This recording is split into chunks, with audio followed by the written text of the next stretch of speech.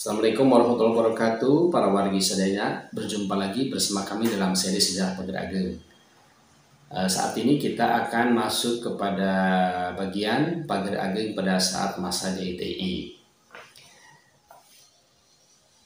Setelah masa kemerdekaan diraih oleh Republik Indonesia Ternyata niat para penjajah asing untuk kembali Indonesia cukup kuat saat terjadi peperangan melawan para penjajah yang ingin kembali ke Indonesia, ternyata dari internal Republik Indonesia juga terjadi pemberontakan dan perlawanan. Salah satunya adalah perlawanan dari DITI dengan seorang tokohnya adalah Kartosuryo. Kartosuryo ini awalnya adalah seorang pergerakan yang bergerak untuk berjuang melawan penjajah. Beliau adalah anggota dari Partai Serikat Islam Indonesia. Namun karena perbedaan pendapat dalam jalur perjuangannya, beliau memutuskan untuk pisah dan keluar dari PSII dan membentuk PSI tandingan atau PSI kedua. Beliau juga membentuk Komite Pertahanan Kebenaran PSII. Pada 24 Maret 1940, Kartosuryo membuat suatu rapat umum di Garut dan menyatakan KPK PSII atau Komite Pertahanan Kebenaran PSII keluar dari PSII. Kemudian Kartosuryo mendirikan sebuah pesantren yang diberi nama Supah atau Institut Supah di Malangbong. Pada zaman pendudukan Jepang, pesantren Supah ini berubah menjadi satu tempat untuk e, berlatih kemiliteran, di mana laskar yang tergabung dalam Hizbullah dan Sabilillah mendapatkan pelatihan militer dari Jepang untuk melawan Belanda. Pada Februari 1948, atas dasar hasil perjanjian Renville, pasukan Republik yang berada di Jawa Barat atau di Pisi Siliwangi, baik itu yang berada di kesatuan maupun yang berada di tempat-tempat e, gerilya, diharuskan ditarik mundur dan harus pindah hijrah ke wilayah Jawa Tengah atau Yogyakarta. Nah tentunya hal tersebut menimbulkan suatu perbedaan pendapat bagi tentara republik yang taat dengan keputusan tersebut mereka akan mentaati perintah dari panglimanya untuk melaksanakan hijrah ke Jawa Tengah dan Yogyakarta. Sedangkan Laskar Laskar Hizbullah yang berada di Jawa Barat menolak untuk hijrah ataupun pindah ke Jawa Tengah dan Yogyakarta. Adapun laskar-laskar yang berada di Jawa Barat khususnya yaitu Laskar Hizbullah di Balubur Limbangan dipimpin oleh uh, Zainal Abidin. Di Cicalengka Laskar Hizbullah dipimpin oleh Kurnia di Wanaraja dan Garut dipimpin oleh Enoh dan di Gunung Cupu yang merupakan markas utama Hizbullah dan Sabilillah dipimpin oleh Oni. Pada 10 sampai 11 Februari 1948 PSII tandingan yang dipimpin oleh Kartosuwiryo melaksanakan suatu konferensi di desa Pangwakusan, distrik Cisayong. Isi dari konferensi tersebut adalah menyiapkan aturan, undang-undang, dan perangkat untuk membentuk negara Islam Indonesia. Dan pada akhirnya pada 7 Agustus 1949 Kartosuryo menyatakan proklamasi berdirinya negara Islam Indonesia. Saat TNI Pasukan Republik kembali dari Jawa Tengah dan Yogyakarta, mereka mendapatkan perlawanan dan hadangan dari tentara Islam Indonesia karena dianggap sebagai pengkhianat mengikuti kemauan Belanda dalam perjanjian Renville dan harus hijrah ke Jawa Tengah dan Yogyakarta. Untuk wilayah pengaruh DITII khususnya di Jawa Barat pada tahun 1950 sampai dengan 1957 adalah masa keemasan DITI. Pengaruh mereka cukup kuat di Priangan.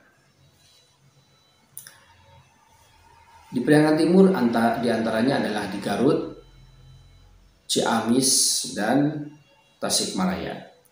Kemudian di Gunung Halu Cililin, di Cianjur Selatan dan Gunung Salak, pada saat itu personil DTI hampir mencapai 13.000 orang dan memiliki persenjataan hampir 3.000 pucuk. Tentunya kekuatan tersebut ada kekuatan yang cukup besar. Pada tahun 1951, Perdana Menteri M. Nasir mengutus Wali Al-Fatah, Tasikwira, Muhlis dan Jainuddin untuk menemui Kartosuwiryo. Wali Al-Fatih adalah salah satu murid dari Hascof Raminoto, guru bangsa yang merupakan guru dari para tokoh-tokoh pergerakan di Indonesia. Sehingga diharapkan kedatangan murid Wali Al e, murid Cokraminoto ini bisa bertemu dengan Kartosuwiryo dan bisa e, melaksanakan suatu perbincangan ataupun perundingan. Namun sayangnya e, utusan dari Cokraminoto ini tidak dapat e, berhasil menemui Kartosuwiryo yang pada saat itu tengah bergerilya di Gunung e, Galunggung. Nah, kegagalan dari utusan pemerintah tersebut e, menyebabkan TNI mengambil sikap untuk menggempur e, wilayah basis DTI yang salah satunya adalah di Pagar Agel. Atas e, serangan tersebut, menyebabkan tewasnya salah satu petinggi DTI yaitu Toha Arsyad. Keberadaan DTI di wilayah menimbulkan dualisme sikap dari masyarakat. Eh, keduanya, baik itu DITI maupun pemerintah, eh, berebut pengaruh dan simpati dari masyarakat.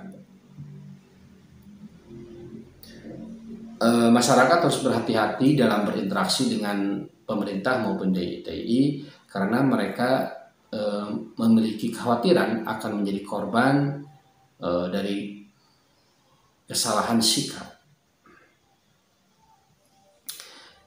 Untuk mengatasi DITI di wilayah Pagar Ageng ini, pihak militer mendirikan perkuatan pasukan yang disebut dengan Bintara Under District Militer atau pasukan setingkat koramil. Masyarakat sebetulnya terjebak dalam satu dilema.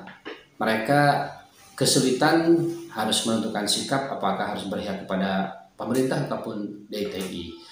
Karena pada saat mereka terlalu dekat dengan pemerintah, mereka akan menjadi sasaran teror dari DTI.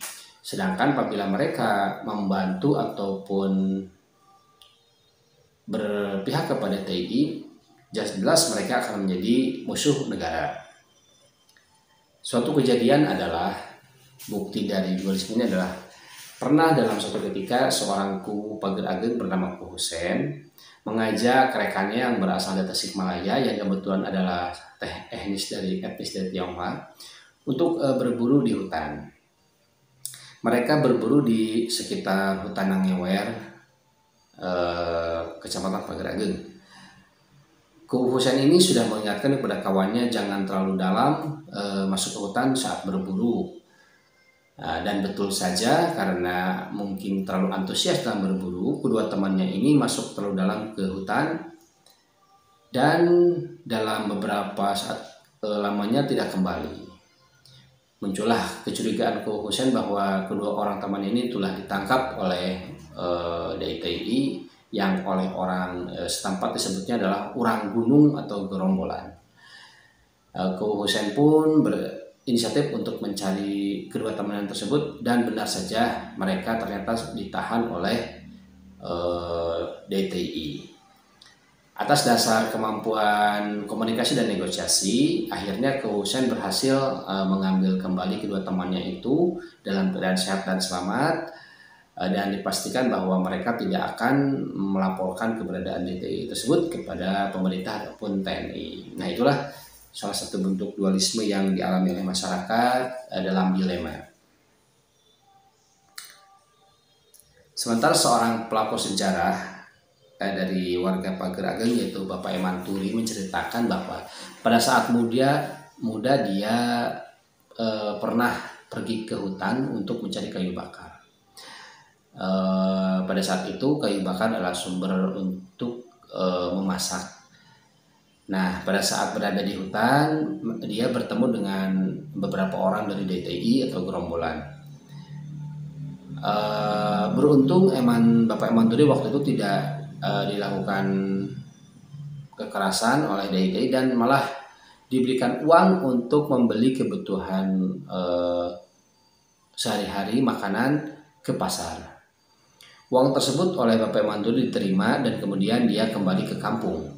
Namun bukannya belanja ke pasar, Bapak Manturi ini malah uh, memanfaatkan uang tersebut untuk kepentingan pribadinya, untuk membeli kebutuhan pribadinya dan semenjak itu dia tidak berani lagi ke hutan dan takut uh, ketemu dengan orang yang pernah menyuruhnya untuk membeli kebutuhan ke pasar.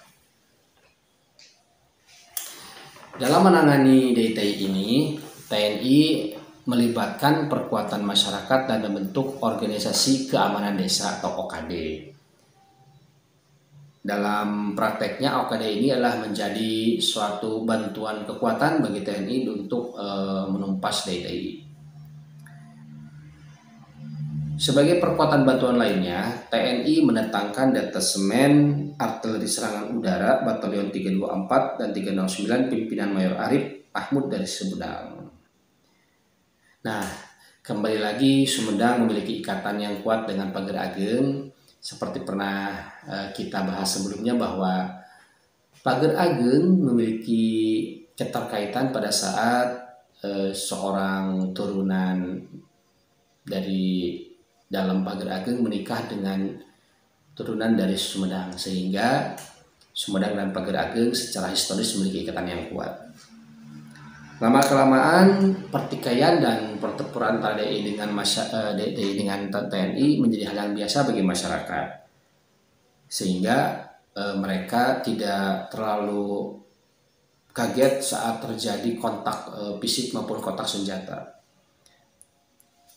Tidak hanya tentara dan pemerintah yang menjadi sasaran DTI, petas kesenian pun ada kalanya menjadi sasaran dari DTI. Namun yang menjadi keheranan adalah pada saat digelar kesenian wayang golek tidak pernah ada gangguan dari pihak DTI. Kemungkinan mereka menikmati dan ikut menonton pada saat itu. E, masyarakat akhirnya membantu TNI dalam melawan DTI. Pada tahun 1957, penanganan DTI oleh Divisi Silangi belum berhasil. Pada 1998, pengepungan ke basis dan suplai logistik DTI ditingkatkan. Hal tersebut menimbulkan perlawanan yang sengit dari pihak DTI sampai pada suatu saat pasukan TNI berhasil dipukul mundur oleh DTI dan pasukan DTI berhasil menguasai Pagar Ageng kurang lebih selama 13 hari. Peristiwa ini oleh masyarakat Pagar Ageng disebut dikenal dengan peristiwa Pagar Ageng Beset. Pada April 1962 digelar operasi Baratayuda atau operasi Pagar Betis untuk mengepung DTI. Teknis dari pagar betis ini adalah mengepung gunung tempat persembunyian uh, anggota DITI dan simpatisannya dari berbagai arah sehingga mereka tidak bisa melarikan diri uh, ataupun melakukan perlawanan. Namun kebanyakan dari pasukan DTI ini berhasil meloloskan diri dan kembali ke perkampungan dimungkinkan karena mereka mengetahui medan uh, dan mengenal medan di pegunungan yang mereka gunakan sebagai tempat persembunyian uh, mereka mengenal dengan baik.